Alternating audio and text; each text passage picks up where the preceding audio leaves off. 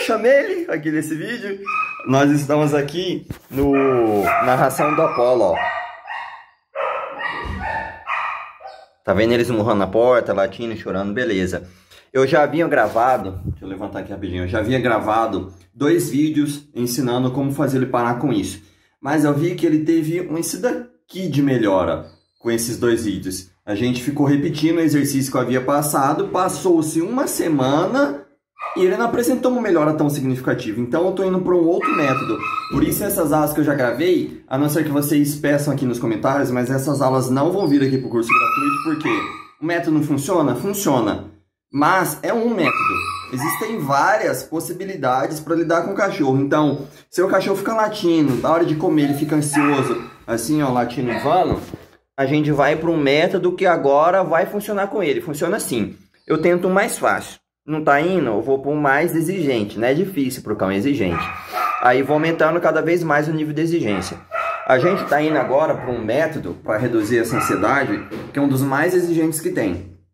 Nesse vídeo aqui eu vou falar um pouco sobre alguns que você pode aplicar com o seu, não vai dar para falar sobre todos, nem explicar todos.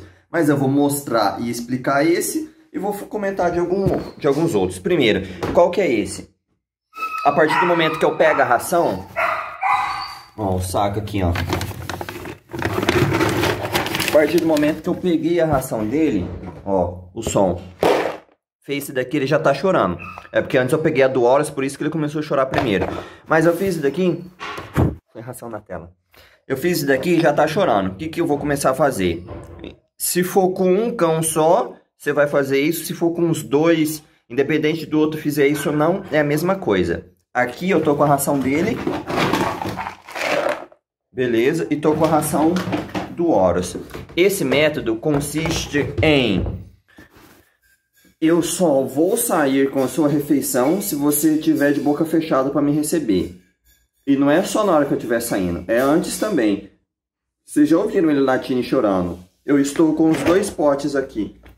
Eu vou sair com a refeição dele? Não, mas eu deixo ele saber que eu já peguei. Porque eu quero começar a ensinar alguma coisa que é muito fácil para ele. Só é mais exigente. Esse daqui não é o topo da exigência, mas já está bem mais acima do nível de exigência com cão. Exigência no seguinte sentido. Comece a ficar atento, porque toda vez que eu barulhar a ração e você chorar, eu saio com a ração do outro ou saio sem nada, mas a sua ração não vai vir. A sua ração só vai vir quando você estiver em silêncio. Quando o cachorro começa a aprender isso? Quando ele fica em silêncio. E o cachorro sempre estranha. Pera lá. A ração vinha. Opa, despertador. Mas agora, esse daqui é intervalo de almoço do serviço. Eu não tenho nem muito tempo para fazer esse vídeo. Mas vamos lá. Ó, pera lá eu tava latindo e tava vindo ração. Demorava um pouco maisinha. Agora não aparece mais ração. A ração parece só tá aparecendo quando fica em silêncio. Agora, como já foi 3 minutos de vídeo, que ele já tá boa parte sem chorar, eu posso aparecer com a ração dele lá. Posso não, eu vou. Por quê? Já passou um bom tempo que ele tá em silêncio, se aguentando. Então eu vou fazendo o seguinte, ó. Começa a me direcionar. Vou começar a abrir aqui, ó. Ele tá ali. Se ele chorar, eu vou sair com a ração do Horus para treinar o Horus. Mas ele eu não vou treinar. Se der bocejo. Fora! Poxa, o senhor sabe que não pode entrar aqui. Vou sair com a ração dos dois. Ele já não chorou tanto. Pode ver, ó. Eu fiz esse daqui quando? Eu fiz esse daqui ontem Fecha a portinha. Eu fiz isso. Ó, chorou. Chorou. Só sair com a ração, mas não vai comer. Ah, ele vai ficar sem comer? Vai. E quando é que a gente vai fazer esse exercício aqui de novo? Quando der mais ou menos uma meia hora depois, eu volto. Não é 15 minutos não, porque o cachorro às vezes não se ligou, ele ainda tá muito ansioso. Mas quando der... Hum, conversa com salcão? Isso. Quando der uma meia hora depois, eu volto, você volta para o ambiente, barulha a ração lá dentro, mexe no saco mesmo, finge que você tá pegando a ração de novo. Chorou, não vai acontecer nada. Ficou em silêncio, você vem de boa, sem pressa nenhuma, abre a porta devagar e sai. Ele chorou aqui fora? Nada de ração também, já perdeu só daqui meia hora. Você vai fazer isso três vezes. 30 minutos, três vezes. Fiz agora, daqui 30 minutos eu faço de novo, daqui 30 minutos eu faço de novo, daqui 30 minutos eu faço de novo. Ele só vai comer quando? Quando eu pegar a ração, sair aqui fora ele permanecer em silêncio. E o hora só conversa. Quando ele permanecer em silêncio nesse percurso todo, até o momento de eu começar a propor o treino para ele, me dirigindo até ele, falando com ele, aí sim que eu vou começar a dar ração. Hum, conversa? E, e pra que eu converselo? Um, uma conversinha com muito selo? Hum, seloso que salcão.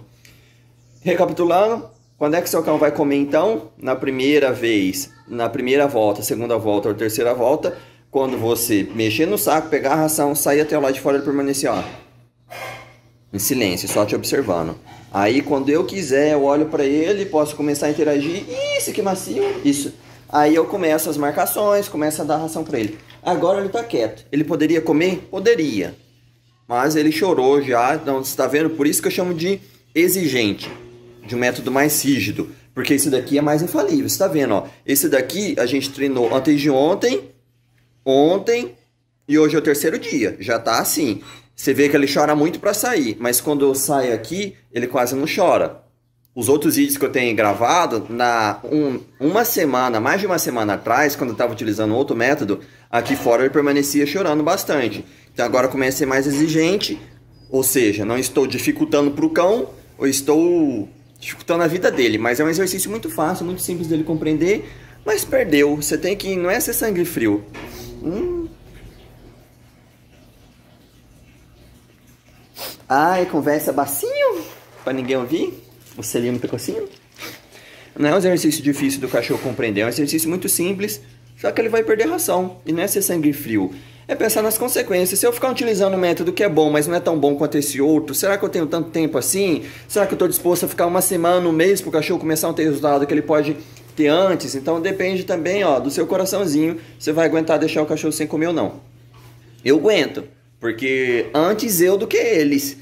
Se ele está infernizando a vida aqui, chorando, latindo o tempo todo, ah, ficou em silêncio, não importa. O exercício não é ficar em silêncio quando eu tô fora. O exercício é ficar em silêncio até eu chegar fora. E vai dar tapa agora, é filho de uma égua? Fora. Hum, macio.